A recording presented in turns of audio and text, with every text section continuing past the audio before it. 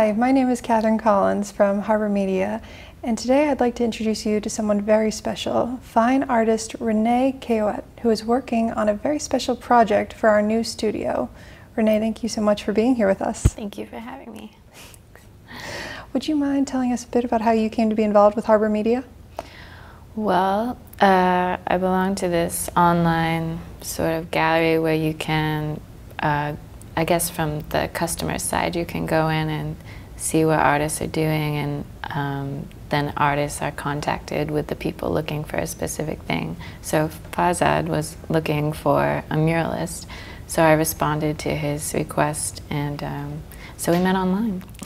That's how we met, and um, we emailed briefly, and he asked me to do the mural.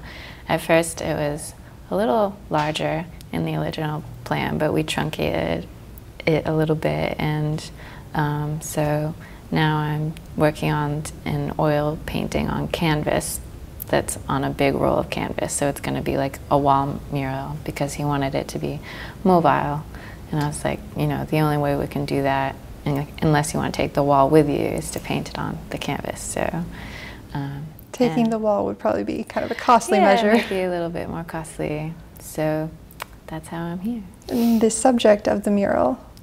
The subject is the history of film, and Fazad and I had, um, you know, a nice long conversation about exactly what he would want within the um, mural. So we're making kind of like a timeline. So it's going to be like a rolling timeline um, with some, you know, string elements to tie it together, but basically they're just little marquettes, like little uh, vignettes of these like pivotal times within um, the history of film. So we start with, uh, you know, very early with the Lumiere brothers, and then we go, you know, to the more into the 60s, the advent of television, and then we kind of end up with uh, virtual reality and how that is affecting the or you know positively affecting the film industry. So that is so interesting. Yeah. Was there a certain vignette or aspect of the timeline that has been especially challenging thus far? Um, I would say the way I explain most of my paintings is that the longest part is actually not the painting. The painting is the easy part because, you know, that's just like work. There's a formula to how you work, you know, like there's a formula to how you conduct an interview. So the hardest part is actually the planning, the composition. So um, I spent a long time in, you know, you do it all digitally first because working on such a large scale, you can't just map it out. So um, in Illustrator, I laid it out and came up with this composition. And um, so the hardest part is just kind of organizing the visual information. Now, I'm just thinking, you are such a petite person. is it very challenging to work on something that massive? Uh, it's funny. like right now, I have it tacked up on the wall, but as low as it could go. You know, it's on the floor, and then it's tacked up along the wall. And um, you know, I just use really big brushes and, uh, you know, I go map out everything in pencil and transfer it from my digital file proportionately. And, but yes, it does get challenging sometimes. So. I have limited knowledge of painting, especially oil painting, but I, I never would have thought of the physicality part of it. Does it get very taxing? It can. I mean, I have some, you know, I try to baby this shoulder because you're standing like this all day. Um, you know, when you get into the fine details, you use the maul stick and you rest your hand against it and you're like this and um, it's a lot of up and down and back and forth. You know, it's always good to like step away from your work and then step, you know, closer and see how it looks from different perspectives. And um, it can be interesting, especially for like a mural. You know, people get, you know, ladders and um, they're working from difficult situations. Sure. Yeah. That is so interesting. Uh, the last time I saw it, you were working on a couple very specific points. My favorite was the Jaws rendition. Yes. Would you mind telling us a bit more about that? So, uh, in the design, I tried to make it sort of like a journey for your eye, you know, not just like a straight timeline. So, there are pieces, certain vignettes that go you know, are more towards the top of the composition and ones that are towards the bottom. So um, the ones from the bottom, I want to be almost like a trompe l'oeil, like a, an illusion, you know, for you to look at. So Jaws is, it's that famous like shot where you can see the, his mouth and he's coming up out of the water, the one on the jacket of the movie. And, um, you know, so that's towards the bottom and it's coming up. And then above that is like these, the kids from, um, I think, yeah, Dead Poet Society are kind of like sitting right there. So it's kind of like Jaws is coming up and it's just, you know, there's a little humor in the design. So. Did you have a lot of say in which of those in the vignette, like editorial decision, or was that largely dictated by what um, our executive director was hoping?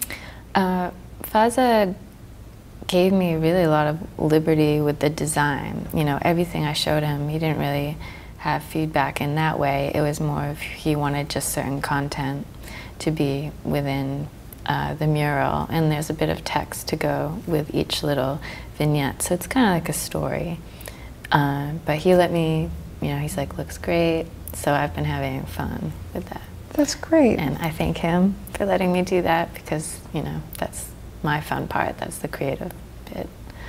I was thinking it must be challenging to go from working on your own project and following where inspiration hits to creating commissioned works.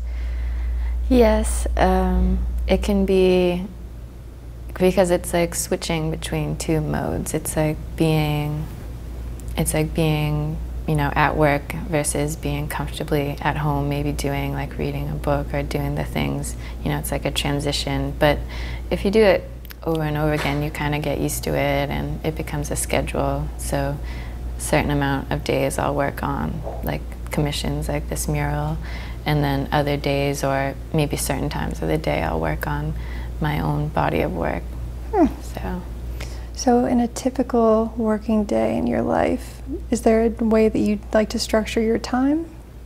Uh, well, I'm an avid runner, so every morning uh, I get up and go for a run. And then after that, I head to the studio, get there probably around 9, 10. And, you know, during like normal workday hours, I like to do all the things when people are actually at their desks, so like emails, um, you know, any contracts, invoices, things like business things that have to be done. I try to do before five o'clock, um, and then in that time, I will also, uh, you know, work on basically what falls into the rest of my schedule. So, um, if I want to work on the commission first, then I'll work on a commission. Usually, those do have priority because my business model is like those are what really pay for you know, me to do my own body of work and have my own um, creative pieces. So um, sadly, those, well, not sadly, because I'm thankful for the commissions, but the, uh, my own work comes second. Yeah. Your own work, though, has received very high accolades. You. Congratulations. No, Thank sincerely, you. you're very talented. And I was very surprised to learn that you didn't always want to be an artist. No. um, I was, you know, I just, I didn't really know what I wanted to do. I know I wanted it to be creative, and I've always been creative.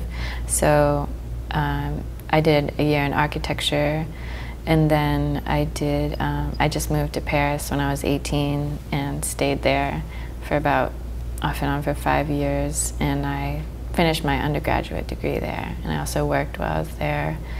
And then I came back and I decided I should have an American degree for my master's. Um, and just to be close to family after being away for so long. So um, then, so my undergrad was actually in history. So I didn't really even study art until my master's. And my whole reason for having my master's was in fine art from the Academy of Art University in San Francisco was because I wanted to be a professor you know, and then I figured, well, I'm, you know, professing art at a university, then I can work towards my PhD in history, which I, is really like what I love. But it's kind of turned into this interesting mesh of I put the history into my paintings, which is why I love this mural because it's like the history of film, you know, it's just a story. So um, it's been really interesting after I graduated from my graduate degree about a year ago, and I was having a conversation with the director of my department. And I asked him, I was like, you know, I want to be a professor. What's the best way about doing that? Do you have any tips or, you know, suggestions for applying? And he's like, Renee, I think maybe you should just try being an artist for a little bit. and I was like, oh, no, no.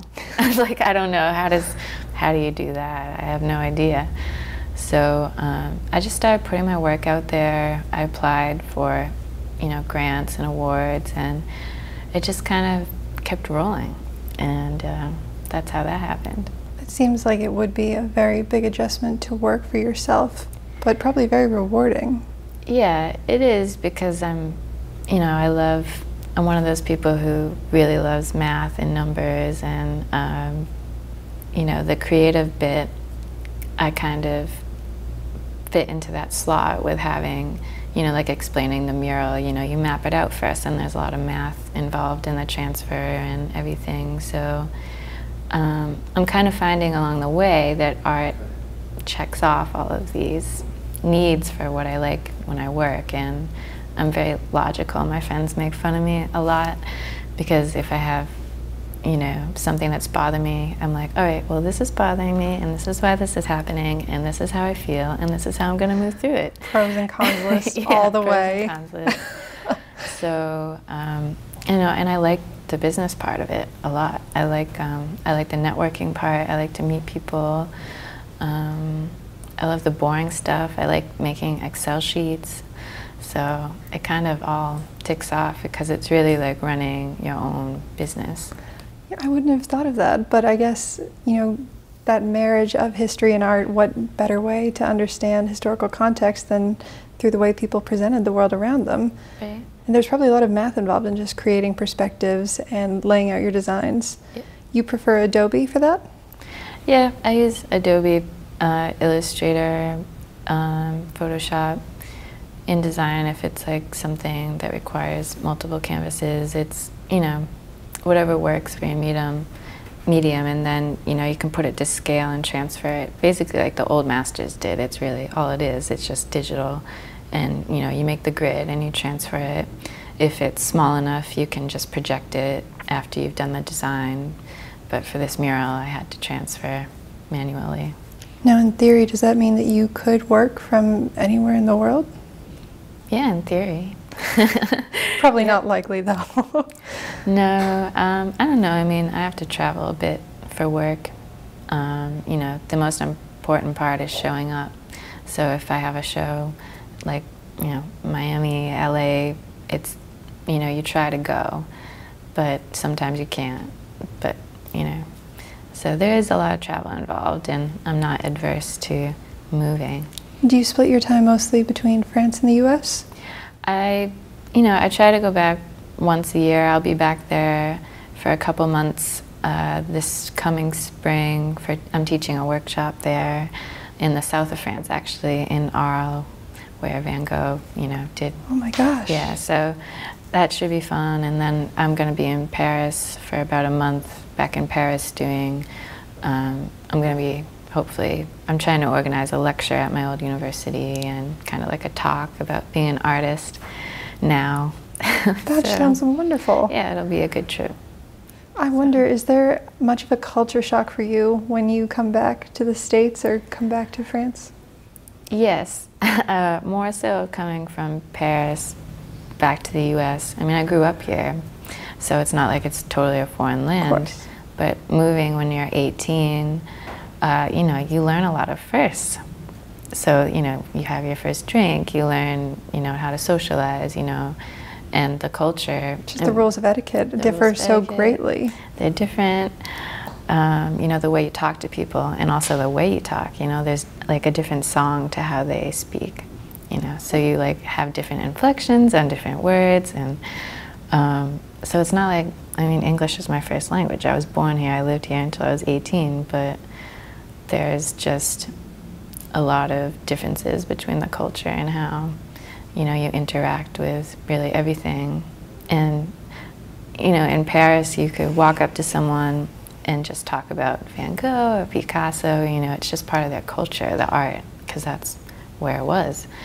And uh, here, I feel like there's been a couple times where I'm talking about art and people, someone won't know who Picasso is, and I'm like, that's interesting. You know, and it, it's fine and it's great. Yeah, not even a judgmental way. Just no. I'm, I'm surprised you wouldn't have come across that name in your education. Right, exactly. So. So, an everyday conversation in the U.S., you might have more luck with Game of Thrones probably than yes, Van Gogh, which I'm not as familiar with, but yeah. the reason I asked, I saw um, a video recently. It was a supermodel who splits her time between the two countries, and one thing she noticed was uh, people wouldn't be caught dead taking selfies in Paris. Oh. That's how you'd spot a tourist. Do you think that's true? Yeah, it's. I mean, it's definitely not as prevalent as here, and sticks aren't involved, and you know, apparatuses don't exist. So, yeah, more mellow. Actually, phones in general, I think, aren't attached to people. More of an option than More a necessity. Right. Huh, very cool. Yeah. Well, speaking of, though, you growing up in Massachusetts, you have a bit of a connection to Hingham, right? Yes, uh, my grandmother lives here, and my family, all my mother, you know, grew up here. She's one of eight, so yeah, big Italian family. and um, you know, I actually haven't told my grandmother about this yet, but she's gonna freak out. Oh, she's gonna be so, excited. excited. She just turned 90 last uh, April. Well, if she has cable, we can tell her exactly which channel to find she you. She does have cable. There you go. they must be so glad that you're working in Rockland. They are. Yeah, they're glad I'm back because I took like a sojourn for a little bit, but um, it's nice, and it's nice to be able to share it with them. Do they often come see you at your studio? Uh, my mom, you know, drops by. She lives on the South Shore, and um, you know, my sister's around. I get a lot of visitors. You know, you came, you were shooting me in my studio, and well, it's a, such a great space. It's really such an interesting collective of various types of artists. It is. There's um, Shelley Leighton there on the first floor, incredible portrait artist. But then we have you know people who bake Spritzel Cookie Company. They bake cookies and they sell to Whole Foods and all around the area. And it must smell delicious. Yeah, it's it's annoying after a while because everything just smells like butter. you know, I wonder with so many people working in a similar industry, is it ever competitive almost, or do people tend to help each other and become friends and commiserate? Uh, my experience, I can only speak from my experience in the art world in general, especially at the Sandpaper Factory, is that it's very inclusive and it is definitely a community. It's, you know, like a little family. I'll run down to Shelley's studio and I'll be like, what do you think of this painting? What's wrong with it? I don't know what's wrong with it. Will you tell me what's wrong with it? And, um, you know, I think it's great. I think um, it's very inclusive and a nice atmosphere to be in. Well, it sounds very helpful to have feedback from people you trust and admire. Yes, it is helpful. I feel like something people in the creative industries are told often is like trust the what's the phrase? Trust the process. Trust the process. what does that mean yeah. to you? Well, um, when you start a piece, you know, I have a certain process that I use, and it's you know malleable. It's not um, very rigid, but I always start to think about something, and then you work on the concept, and you work on the different designs, and you know, for example, with a painting, I'll have an idea. I'll do some thumbnails. I'll take maybe photos, reference photos to try and understand exactly the aesthetic I want. And then you know, maybe only 20% of the time is spent painting. And unless you go through the process of, you know, the conceptual part and give it time to brew and, um, you know, really think about it, then maybe you'd rush it. Or maybe you wouldn't come to a conclusion that you would have come to. So basically, at least my understanding of trust the process is just don't rush it and trust um, that you will get to where you want to be. And it might be different than what you thought. It might be completely different than what you thought. But if you trust in it it'll come out right. Your training and your instincts should kick in. Mhm. So even if it doesn't quite match the original conception, you might develop something better. Better, exactly. So you shouldn't be afraid. You know, basically, don't be afraid. It's good advice. It's hard, but it's good. Very hard to follow. yeah, it's very hard to follow. Do you have any tricks for overcoming fear or self doubt that you could share with us? Oh man, uh, I was having. I've had this conversation with a lot of friends in general, but especially other artists who, you know, because you always second guess yourself, especially when it's like you're making something and you're putting it out into the world. It's like, well, you know, what are people going to think? You have all these thoughts, but, um, you know, besides me just saying, just don't care, um, the only thing you can do is really just be confident and trust yourself, trust the process, and um, you know, get feedback. Don't don't stay in your studio and be a recluse and just be you and the canvas because you'll get you know you'll put blinders on. Tunnel vision. Tunnel vision, and you won't be able to see other perspectives and have feedback. So, you know, if you're feeling that way, then it's best to just realize that you're feeling that way. Maybe talk to a friend about it. You know, You can just take a walk. take a walk. Yeah, take a walk, take a drive, whatever you have to do. That is great advice. no, it is truly. Sorry for laughing. Thank you again so much for all the work that you've done on this project. I can't wait for people to see it. Do you, not to put you on the spot, do you have an idea of when you think it might be done?